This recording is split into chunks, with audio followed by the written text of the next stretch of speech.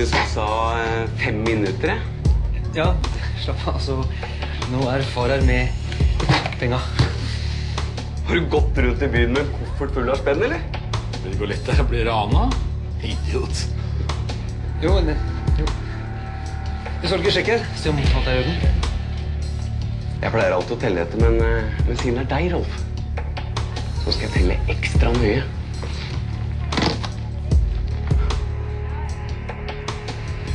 Alle halvannen mil er der, som vi ble innom.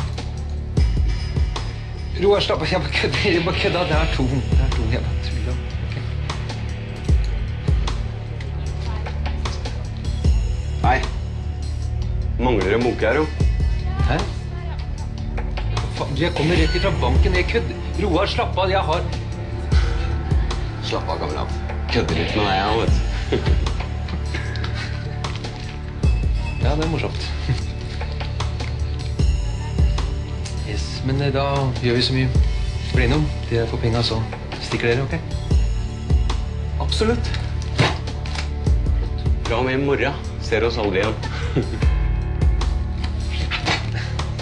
Roar, altså Vi ble enige om at, vi ble enige om at dere skulle stikke hvis så fort dere fikk penga. Har ikke du fått med deg at vi gjør som vi vil ennå, eller? Hæ?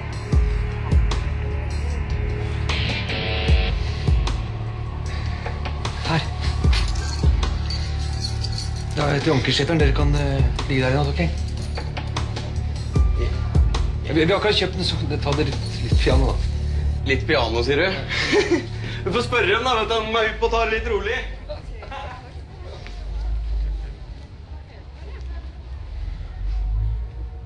Du, er